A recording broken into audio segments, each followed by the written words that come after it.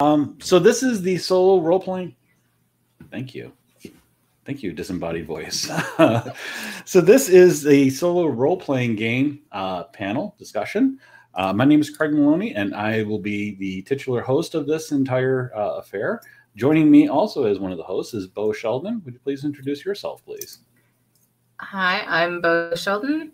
Um, I am a gender fluid, non binary masculine creator of various tabletop role playing games, uh, including Of the Woods, Let, Let Me Take a Selfie, Turn, and I've worked on a lot of larger properties as well. And um, I also created the Script Change RPG toolbox for safety, content, and consent. And that's where most people know me from. Excellent. Thank you. Uh, so, what I wanted to do real quick is I wanted to briefly go over a little bit about what a solo RPG is, uh, show some of the history and some different examples of, of those types of uh, books as well, and, and various types of games. And then uh, open up the discussion a little bit to um, other things like you know personal experiences with this stuff, maybe some tools, we'll see where the discussion goes. Um, there's not a whole lot planned, um, and I find sometimes that can be some of the the most scary and interesting ways of going about all of this stuff. But uh, let's see where we can go with this. Uh, once again, we are recording this, so. Um, one of my first experiences with the solo RPGs was this little book here, which is uh, what I refer to as the branching story. Uh, this is the Warlock of Firetop Mountain. Uh, there was a whole series of, of what was considered fire fighting fantasy books, um, and they were all in the the what folks would refer to as uh, CYOA adventures. Uh, if they're going to issue a whole bunch of takedowns for folks, they can do their own marketing. Um, but yes, these are the idea of these books is that you have a character sheet at the very beginning of this book, and you fill out the character sheet, and then you proceed through and do your branching story. So it'll have a thing where you start off, you say it'll say, okay, you run into this particular contest, and if you uh, pass this, then go to this. If you fail the contest, then you go over to some other other uh, part of the story, and so it branches through the, the story. And there are other examples of this as well. There is um, what's known as it's collectively referred to as solo quest. Uh, this is from RuneQuest. Um, there's also ones from Chaosium for Call of Cthulhu, uh, which is um, the Lone Against, and it's like the flames, the tide, the frost, um, basically a whole bunch of these type of things. And these, I found with the the Alone Against the Flames, it was a little more interesting because it didn't, it had interesting failure in it. So it was you weren't necessarily like you know shoved off into a pit and that was the end of it. It was oh you there's actually something that you did not get a hold of and so you could actually have a successful ending where it's like you survived, but you really didn't learn what was going on in the whole story. And that made for a much more interesting choice. And I think part of that with uh, with solo role playing games is the ability to have an interesting encounter with whatever material you're doing. There needs to be some interesting choices with this. Mm-hmm. And with some of these things, you get stuff like um, I'm going to show this which is the game Gloom of Kilforth, And you can, can call this an interest. It's it's interesting in that it straddles the realm between role playing game and board game pretty effectively, um, because there's interesting choices in this in this box. There's still a predetermined outcome. It's you either you know succeed by um, they call it night uh, night and day cards. There's 25 cards in the night pile, and so once you get through all those cards, the game is over. And so you're supposed to succeed with whatever it is, or you're done. Mm-hmm. And that's one of the interest. So you you're limited. It's not like you can go sh- sojourn throughout the entire town and have interesting encounters with various folks. You're pretty well limited to mm-hmm. whatever mm-hmm. is inside this box. And to me, that is one of the things about solo role playing games that makes it a little more interesting is that number one, you don't necessarily have to. There, there's just very you have interesting decisions in, that you can make with all this stuff. Oh, can you talk a little bit about that? Uh, yeah. So I I come at this from a much more recent perspective, obviously, because I only started designing games and playing indie games in the last 10 years. Um, and a lot of the games that I have played and designed that are solo games are a lot more freeform and have a lot fewer uh, crunchy mechanics and focus more on things like really good questions that have open options or they have the like complex ability to kind of use small mechanics to influence things in a big narrative way. So there's things like Thousand Year Old Vampire, which is by Tim Hutchings and is one of the most like detailed and complex modern solo games that has been out. Um, in that it mostly is prompts and journaling, but there's this memories mechanic where you gain and lose memories over time as a vampire. And you have to make complex decisions about like what those memories mean to you, how they influence your character, and things like that. And I think that even the simplest games with like the simplest prompts can make you in solo games challenge your own perceptions and like what you really are afraid of or interested in seeing in your own narrative. Um, of the Woods is a collection that I did with a couple of other designers. And the games are just, for the most part, a series of less than 10 questions. And you just play through it and tell a story. And they were um, basically, we started writing them on Google Plus back when that existed back in the day. Uh, and um, I posted one on Google Plus and people played it in the comments. And then other people made theirs based on it because it was such a, such a simple format. But the whole purpose of them was just asking these like open ended but leading questions to tell a specific kind of story. And I think that's like one of the best things about solo games is that you get just this unlimited possibility of telling the story based on like what your impulse is and what the game challenges you with. Like what is what is the like difficult question or difficult like mechanic that you encounter that you have to work against as an individual as opposed to with a collaborative group? Yeah and that is one of the big things with uh, with a lot of solo rpgs is you can go anywhere from a simple dungeon crawl to something where it's it's like an absolute gut punch. Mm-hmm. Um, and so there's a couple of these things like um, I'm just going to pull a couple of these out here, like uh, micro chapbooks. These are basically just dungeon crawls mm-hmm. inside of a book, and they they give you little prompts in here, like okay, uh, you roll a d6 or roll two d6s, and this is the type of thing that you're going to be encountering mm-hmm. further along. Whereas um, with some of the solo RPGs. And I'm trying to remember the one that was with Kevin Kulp. Um, damn it, I should have written notes. Um, but that was uh, it. It was basically asking you like you were you're acting as a time uh, time traveler to certain parts of your history. Oh so yeah, would, yeah. And I'm I'm really spacing on it. It was a Kickstarter, and damn it if I can remember. But it was, um, and I'll probably just go and check it real quick uh, when I get yeah. a chance but it was about going into these various parts and you only had a certain number of words that you could write about to let yourself know about something that was going to happen in your future and it was a really interesting mechanic for just getting into and thinking about okay these are certain things that happened and how to go go forward with some of those mm-hmm. things. So you've got a, that whole level of complexity of just you know poking around and and it's like okay there's a room here and it's this big and there's treasure uh, so go find it and then go find the big baddie at the very end of it and take care of them uh, versus deep dig deep into yourself and pull something out of there. Yeah.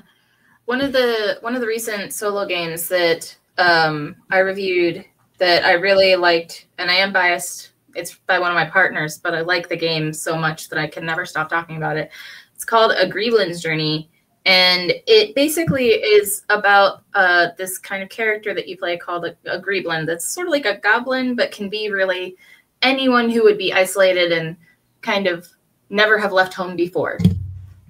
And throughout this story, it uses this really interesting like blackjack dice roll mechanic where you reach like 21 prompts and you're done. And um, you tell the story of leaving home to this fantastical place for the first time. And I was really kind of compelled by how, like, just the simplest parts of the prompts just I guess they they spur your creativity so much. And I think that's one of the best things about like the dungeons and that they've done in the past is that like they have just enough information to like let you tell the rest of it on your own. Like I really like journaling games.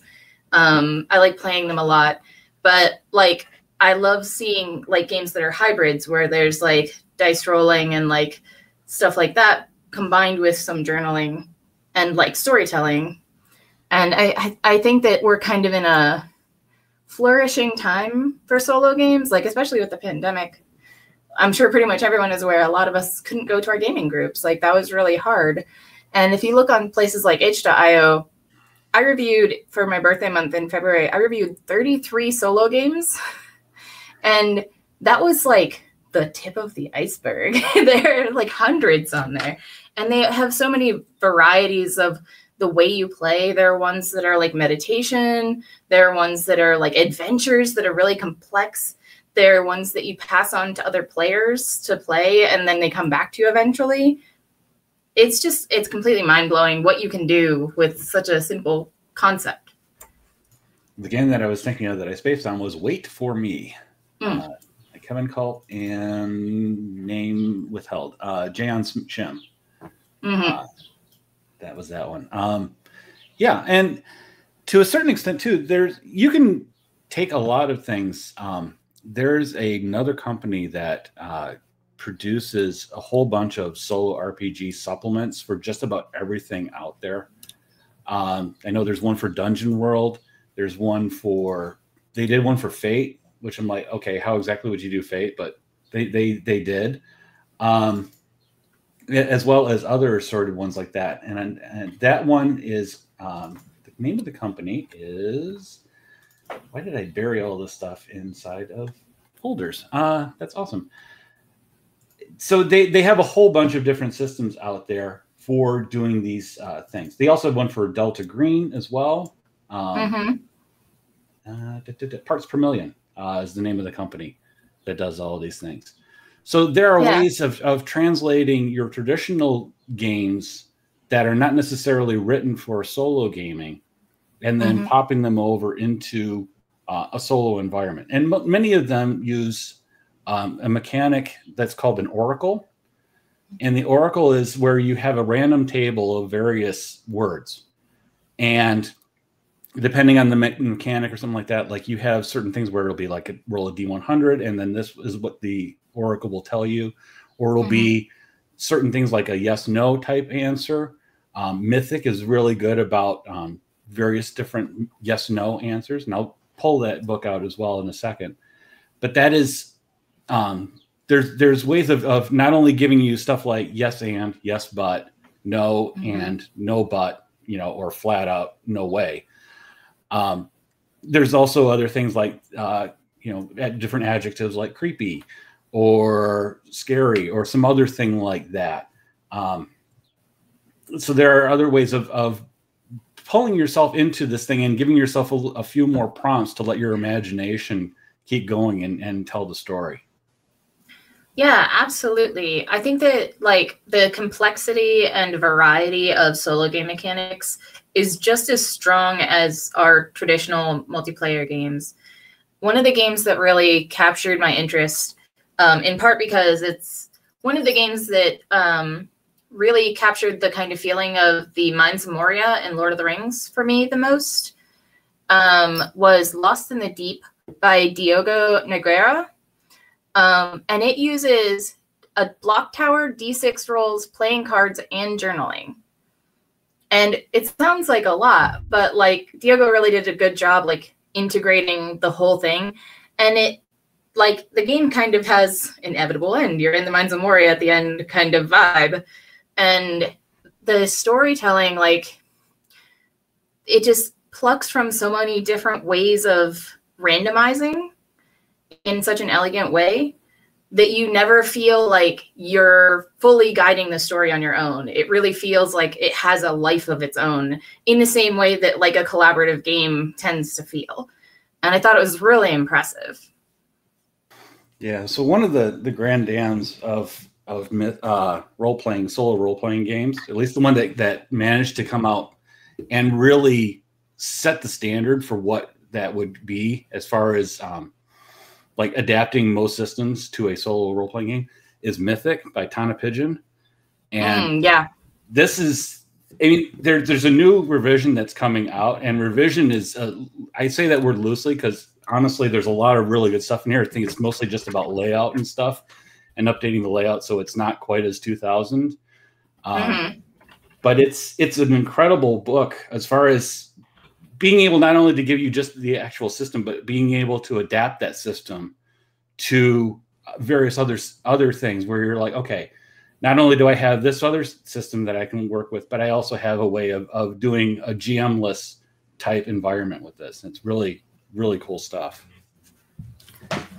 Yeah, I think I think that there's such a a a, a variety of approaches to solo gaming. Yes. And like I as, as I focus like more on like the indie games and the the kind of flowier stuff, I guess. While I was going through it, I also found like a lot of the old choose your adventure type solo games that you play. Like um, there's a, a guy on Loading Ready Run, uh, Adam Savidan, who has been playing through some of them and uh, doing them like on stream and like telling people like what he rolls and everything like that. And it's it's so cool to see like these these games that are like they're this thick. They're like the size of novels. And they create the kind of experience that you normally would see somebody have if they were playing like at a table with their friends but just as an individually. And i just think it's so rad. Like i'd like to see like uh that i'd like to see solo games continue like in both paths like continuing to see more of you know these complex and and more traditional style games as well as more of like the games that are kind of sit down and play without dice sort of storytelling games. Because i think that there's beauty in both of them. Yeah. I know for me the one that really that really pulled me out and said this is this is something that i could do and actually uh, really enjoy the experience of it because and unfortunately i mean i mean i'm of the age where this was my idea of a solo game and it's like mm-hmm. it's very pre-programmed you really don't have a whole you have options but you basically have a you know two or three options at any given point mm-hmm. but what really pulled me into this was uh, this game Ironsworn, and oh, yeah. the re- the reason that it pulled me into this is because not only did it have the the power by the apocalypse mechanics of player facing rolls which is like absolutely brilliant but mm-hmm. it's like taking that and adapting it into a system where not only do you have the player facing rolls but you also have the you know the moves and you have the oracles that are based into it. And it it was not so much about okay here's this semi pre-programmed path but it was really open ended mm-hmm. so we were playing one instance i mean you can play this game cooperatively as well which is also yeah. a nice feature of a lot of the solo rpg stuff is that if you have more than one person, you can collaboratively play together. Yeah. And what was brilliant about it is that in our play session, uh, there was a monkey. And it's like, there's no monkey in this book at all. But both of us agreed that a monkey needed to happen. So a monkey happened. It's like there's very few platforms that would allow you to do something like that. Like with the, you know, the Gloom of Kilforth, monkey can't happen. Mm-hmm. But in a solo RPG, if, if you want something like that to happen, if it needs to happen for whatever reason, and don't ask me why a monkey needed to happen, it just had to. That was just all there was to it. That it allows you to at least progress with that and say, okay, now monkey has occurred. Let's deal with that. And that monkey was yeah. getting into everything, unfortunately. One of the things that I really like about solo games is like especially when you're playing by yourself, you have like full permission to go like as far as you want or to be as like subdued as you want with your story and like explore all the things that like come up, right? uh, one of the games that I designed as part of Let Me Take a Selfie, which is my collection that's like you use selfies, uh, like phone camera pictures to tell stories and play games. Um, the game is called The Story of My Face. And the way you play it is you go somewhere public and you pretend that you are being chased by magical hunters of some kind and that you're in danger. And then you take photos of yourself and journal basically what happened when you took that picture or right before. And you basically try and scare yourself until the end of the story. And it's pretty open ended, but the few people who have like actually reported back to me to play it uh, have said that it was like exhilarating because they're like, I didn't know that I could scare myself that bad. Like, you know, and it's like you just open up so much possibility because you're controlling how much you engage and you don't have to trust someone else to like stay within your boundaries or anything. And while as a safety RPG like kind of person, I advocate still using some kind of safety tools when you're playing by yourself. Like most of that's just taking breaks and being aware of your own choices and decisions. So like when people play games, like there are some horror games that I played for uh, 33 and 28 this February that were like really scary. And all it was was a brief description, and my brain just went with it. Like, like there's more in the scene than they told me, and it's because I thought of things that scared me. And I think that that is like the best part of like every time I sit down and play a solo game, because I never know what my brain is going to come up with, and there's no one to stop me, and it's so exciting, you know. That is that is true because yeah, I mean, and that, that's really what many of the uh, the solo games are all about is just giving you the prompts and letting your mind wander off with it. And so something you know where you, you look at it objectively and it's like, what the heck is creepy mean? Or something like that. It's like, why yeah. would that? Why would that do anything for me? You know, it, you know, sitting here reading this creepy, whatever.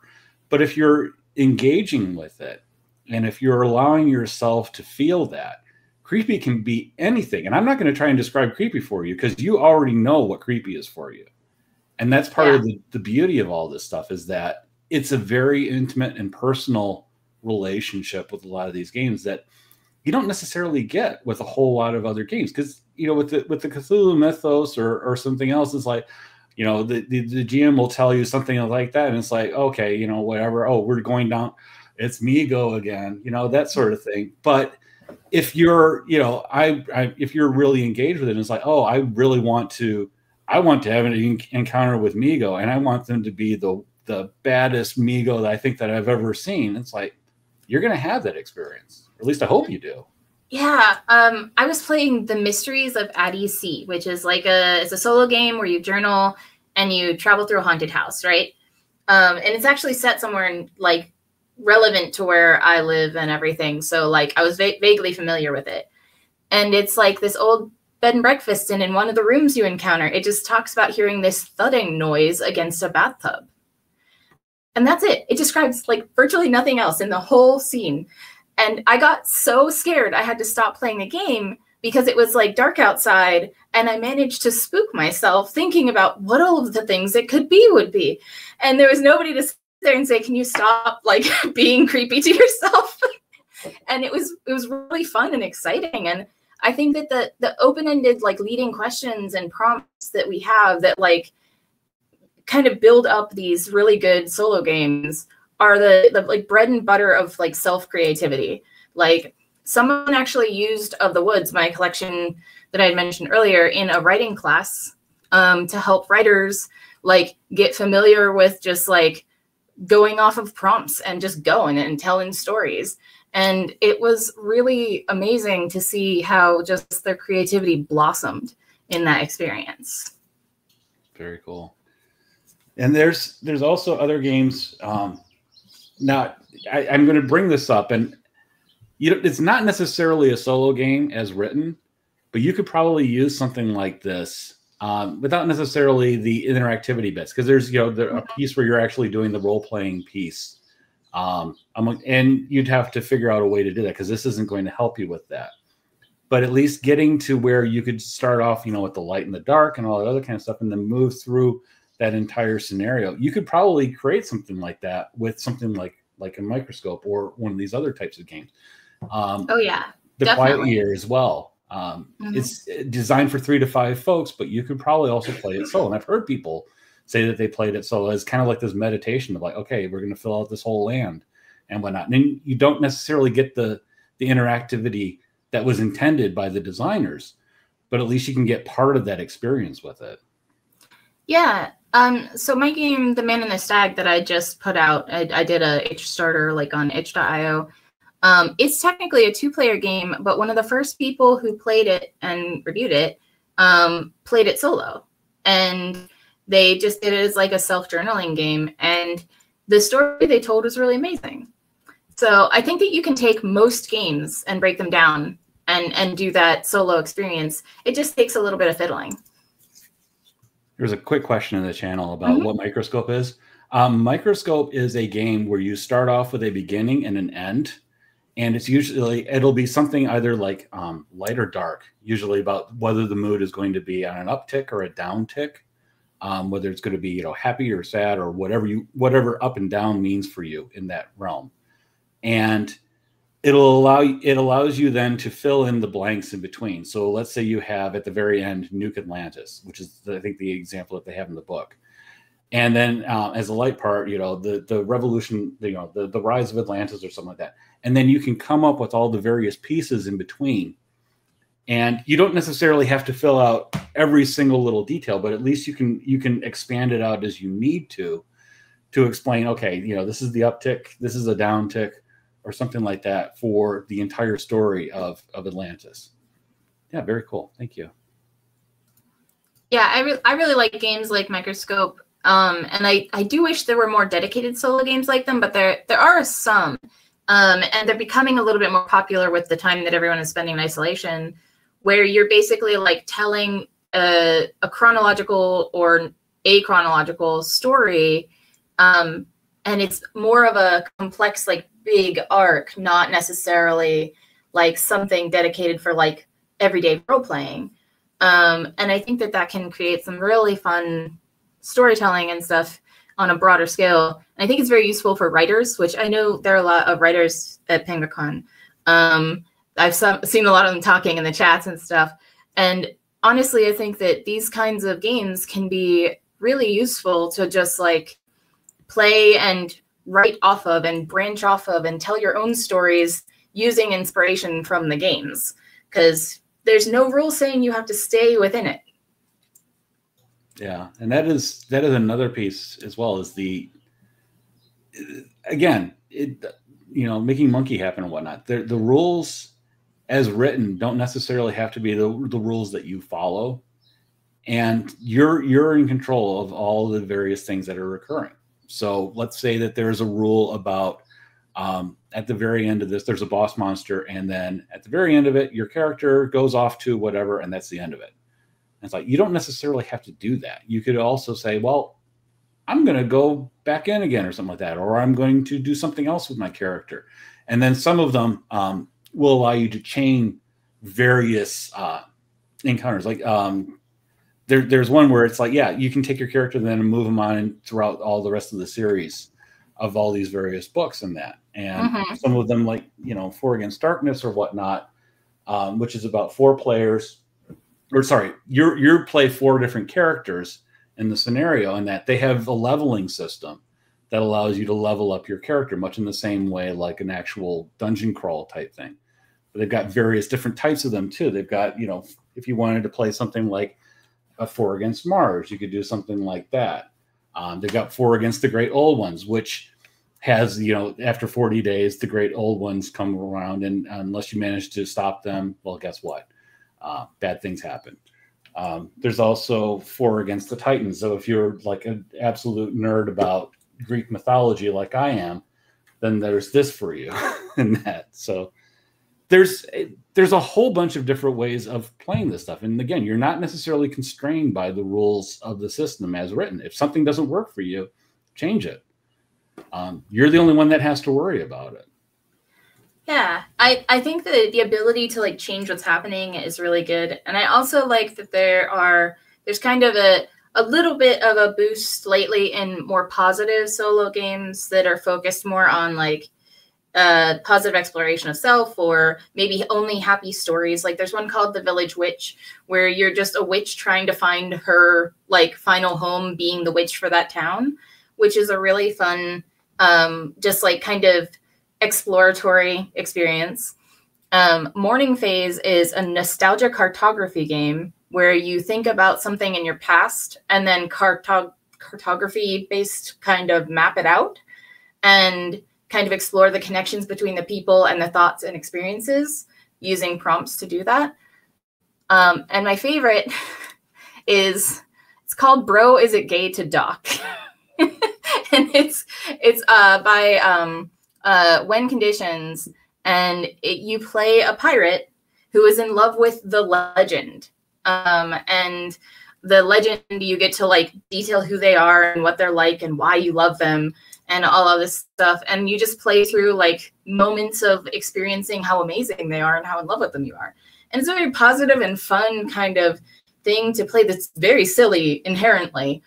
But like having solo games like that and then having contrasting solo games like The Machine, where you're trying to work on this like impossible to fix machine and eventually you fail and pass it on to the next person like there's such a, complexity of emotion that you can explore in these games. And like it all comes back to like knowing that being your by yourself doesn't limit you.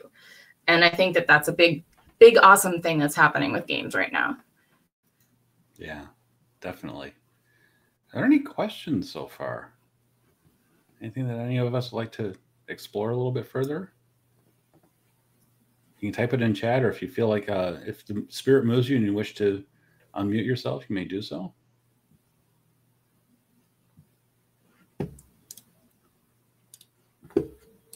So if you, so Beau, if you had, um, if you wanted to recommend to someone, where did I get those books? Uh, some of these came from Amazon. Um, some of them also came from DriveThruRPG through their print-on-demand system.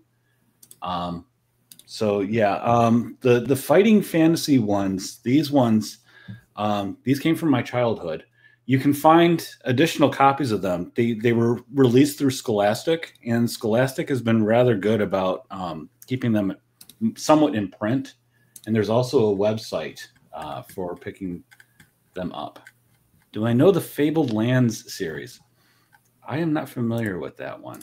I have heard of it, but I've never actually been able to play it. Oh, and before we get too far, yes, I've heard of Tunnels and Trolls. Um, and apparently that's very good for solo role playing games. And I picked up a copy of it in PDF and Buffalo Castle. So eventually I will probably take a look at it. Because apparently you can't say the word solo RPGs and not have someone bring up uh, Tunnels and Trolls. I mean, it. I've heard of it. It's very popular. Like exactly, exactly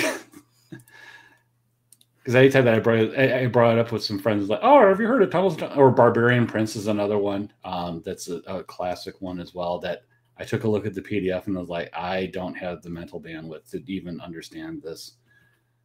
Uh, Fabled Land. Okay, there's also, um, as far as branching stories, there was also the Lone Wolf series, which evaded my radar, and I'm not sure uh, why it did.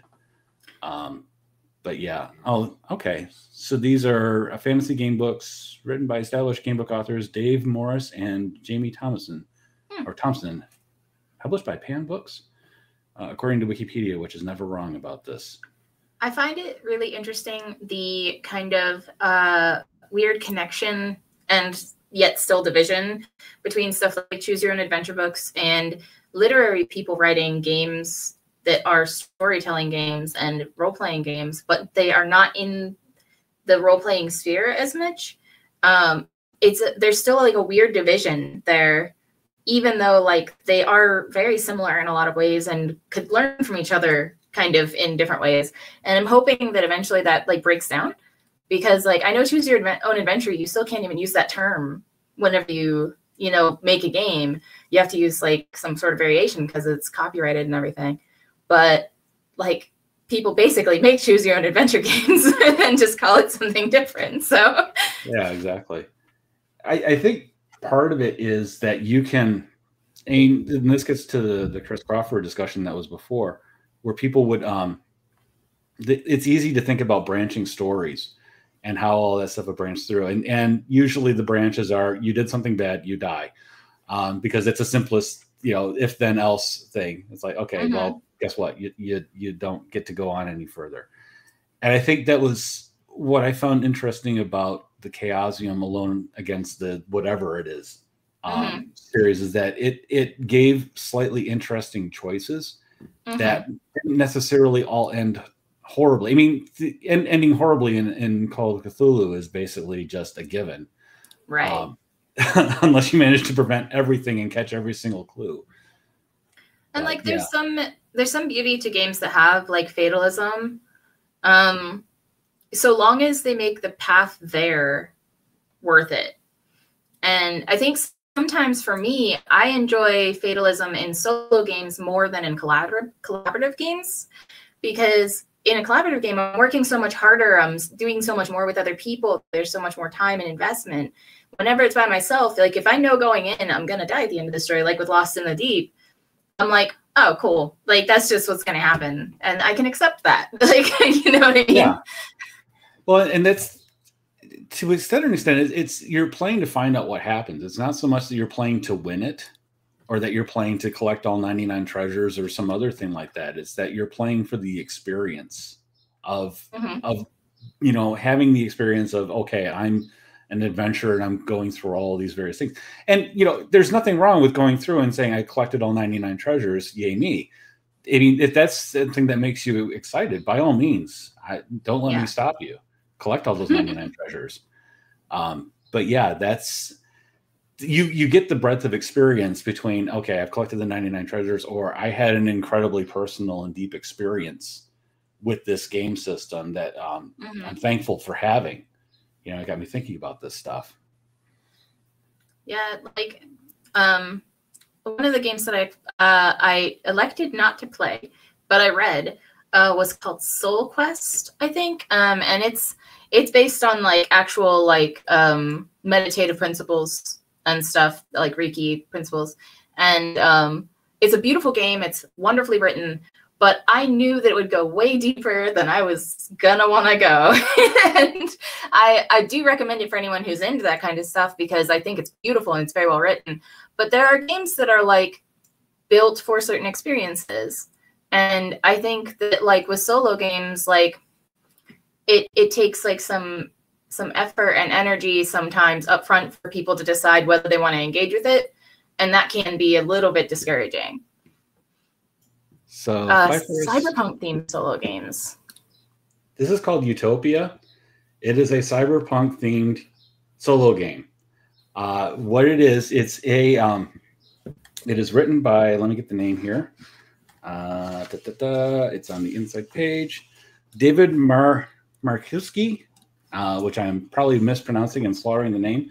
But the idea of it is that there is you are one of very um, five different levels of class in the society. Whether you're a highborn or um, going down the levels, you could be something like an AI or mud. Um, I don't mudborn or something like that. But anyways, and you can take on jobs um, in this society. And there's a news board about the various dangers. And so you could do things like you can take on hacking stuff, you can take on um, all sorts of different things uh, that you can do in this game. And what's neat about it is that it's not necessarily designed for, oh, we're going to go around and hack the planet or anything like that. There's all sorts of different uh, backgrounds and ways of, of carrying yourself through the society. And it's not necessarily you know ourselves but in the future there's you know the, there's a whole idea of a fall and then rebuilding the society in a new format and whatnot so if that's something that speaks to you this is something that i can recommend uh, checking it out the mechanics are slightly fiddly there's a lot of addition to it so it's like a 2d10 plus six you know a number of d6s and whatnot um, that may be something to speak with you but it also it feels like it borrows a lot from Ironsworn as well where you've got the moves in that system. So you may be able to, if, if the system doesn't speak to you the way that it's, it uh, is written, you may want to tweak it a little bit. Can you play yeah, with friends? Yeah, it's yeah. It handles uh, GM play and cooperative play as well. So, I, I would check. Definitely recommend checking it out. I think that there's actually a kind of uh, like a dearth of cyberpunk games. Um, but I know that there were a lot of solo games in the Sad Mech RPG Jam. Um, I wrote one. I know of Live Die uh, Remember. I think is um, Live Die Love Remember. I think is what it's called. Um, there there are a couple that are really good, a little bit sad, but very good like mech RPGs that you can play solo. Um, if you just look up the Sad Mech RPG Jam, there's uh, just a complete wonderland of games under that. Um, and a lot of them are very cyberpunk themed with a lot of that vibe. Um, and many of those creators also make other games that you could find through there too. Is there anything that we haven't talked about that anyone would like us to talk about in the last couple minutes here?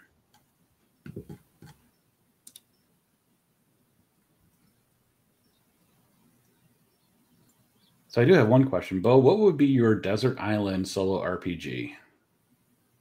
Desert island solo RPG. Hmm. That, uh, I'd probably finally find time to play Thousand Year Old Vampire. Um, you had the time for it, which yeah. I want to play so bad, but it's it's very emotional. It deals with memory loss, which is a personal uh, struggle for me. Um, the emotional mech jam that that might be the one. There were a couple. Let me uh, just see if I have the Sad link here, because there were there were quite a few quite a few people who did it. Um, I can't. I don't know if it's down. Uh, I will find it, find the link for it, and put it in the um, in the chat after this for you. Um, I just have to figure out what happened to it. Or you can send uh, me via Discord. I'm I've cre- I'm compiling a list of all the stuff that we've mentioned in here. Awesome. So I'll add that to that uh, website. Uh, which, by the way, if you haven't seen the website, it is uh, shoot. I'm of course going to off the go. link, here is the link. Here is yeah. the Sad Mech Jam tag on itch.io, and it is it's got like 30 games on there. Not all of them are single player, but um, there are quite a few that are either solo or playable as solo. Awesome. Um, my game Beep is on there, but that's that's that's very sad. Um, it's not so much of a solo game because you really want friends for it. Um, but uh, yeah, I, I think that Thousand Year Old Vampire would be really good because it's got a lot of play for it and a long time to play in it. And um, I also I really liked um, reading uh, and playing a, a Greeblin's Journey a lot because it's very replayable. And um, I also like to write my own solo games a lot. And I think I'd probably spend a fair amount of time doing that. Yeah. What about you? I'm going to punt and say the one that I'm writing right now. Isn't it always? it always is. Yeah. No, the one that I'm writing right now is um, about the birth of the computing industry, and I'm using the Ironsworn mechanics for that and trying wow. to get that all sorted out. And it's a mess um, at the moment, of course, but hopefully it'll coalesce into something very playable and very enjoyable for folks. Awesome. So, thank you. Sorry, cat. Um, no worries. I, I've I've had those experiences. he just startled me. It's kind of like Soul the New Machine. I, I think of it more like um uh so I, have heard people say that it would probably be something along the lines of Halt and Catch Fire, uh, the RPG. Possibly, I don't know. Um, but I'm looking for it from the solo experience as well. Uh, so hopefully it'll be a little more number one because I can play test solo a lot faster than I can play test with other folks, and so hopefully I can yeah. get that uh, going. Do you have any tips, perhaps, to um, what you would recommend for folks to look into as far as a solo RPG? Or yeah, um, so the first thing that I suggest is uh, if you if you want to play a solo game, um, definitely look into like a variety of genres um, and see which one like really in, like gives you enthusiasm because uh, I would say one of the biggest things I hear from people who get who try out solo games is they start, but then they realize that like the genre just isn't engaging them because they don't have enough ideas for it or they aren't as interested in it. Um, so there are enough games out there that you can easily like kind of pick and choose something that'll be fun for you because it's like your actual vibe.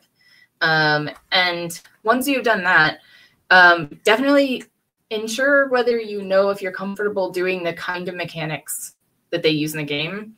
Like I can't do a lot of number stuff. So like stuff with a lot of like calculating or anything like that will burn me out immediately. But journaling I can do. However, I have friends who like they write a paragraph and they are done. Um, and also keep in mind that with journaling games and with any kind of solo RPG, you don't have to play it within a set period of time.